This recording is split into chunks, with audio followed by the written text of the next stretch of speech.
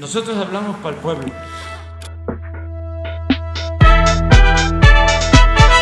En Ucrania, preguntarle si nos puede ampliar a esta posición de México y con qué países han estado conversando, en- entiendo será en el Consejo de Seguridad o a nivel de las cancillerías sobre eh, esta petición para un cese al fuego, con quién se construye pues esta, esta postura también de México y cuál es la actualización de las familias que se encuentran en Ucrania, las familias mexicanas. Ya ha informado el secretario de Relaciones Exteriores sobre la postura de México. Nosotros eh, sostenemos que nos debemos de apegar a lo que establece el artículo 89 de nuestra Constitución, sobre todo en tres principios básicos. No intervención, autodeterminación de los pueblos y solución pacífica de las controversias. Entonces, lo que se planteó ayer se da en este marco y en una situación muy especial que tiene que ver con nuestra historia. Nosotros eh, vinculamos la no intervención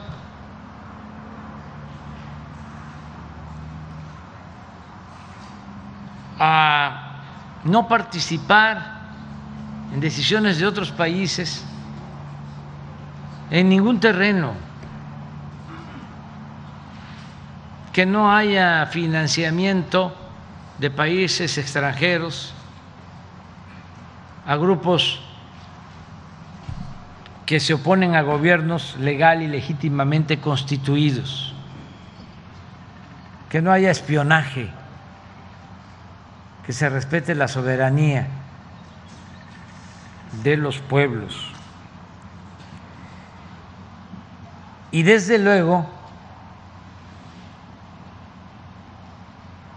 lo extremo en el intervencionismo son las invasiones militares. que nosotros hemos padecido.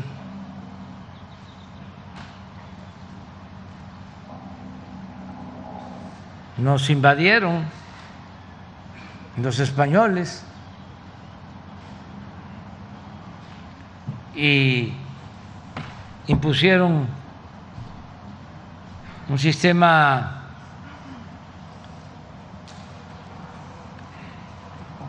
colonial que dominó tres siglos en nuestro país. Luego nos invadieron dos veces los franceses.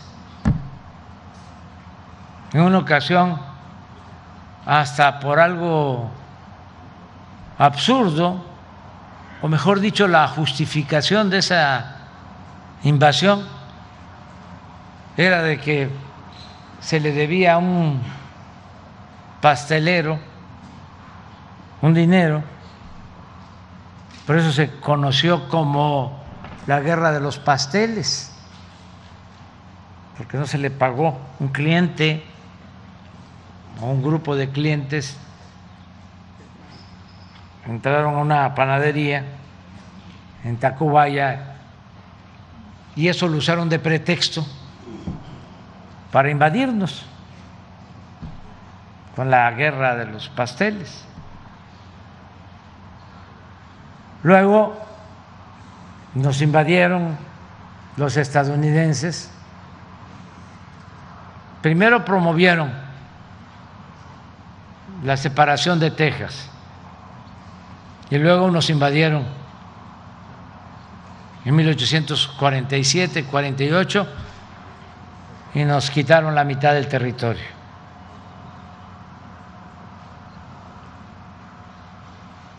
Luego, de nuevo, los franceses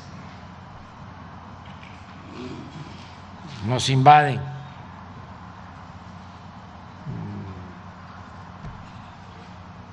En ese entonces era el ejército más poderoso del mundo y nos invadieron 28 mil soldados.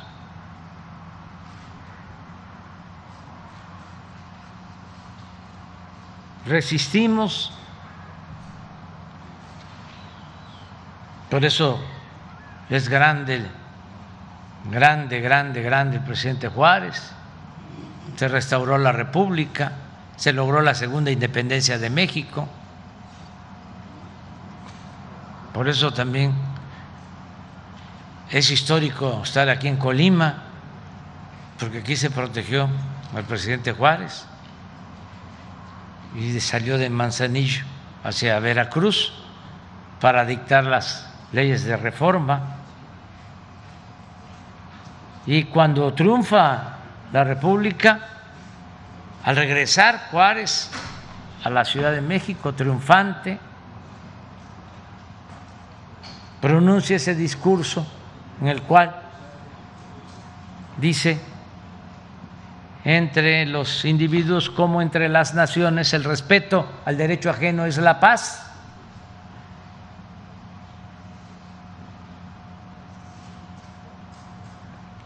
Bueno, todavía en 1914 nos vuelven a invadir los estadounidenses.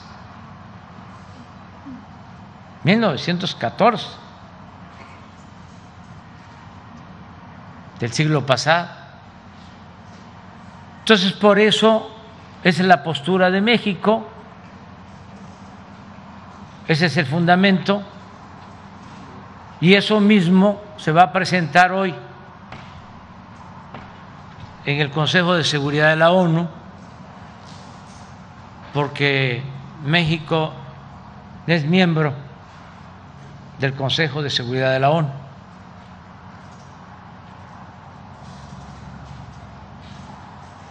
Y ayer que me hicieron la propuesta la resolución, le recomendé al secretario de Relaciones Exteriores que como pie de página se estableciera la propuesta de México de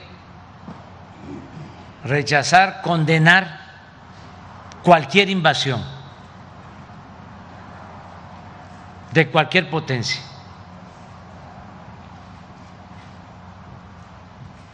Esa es la postura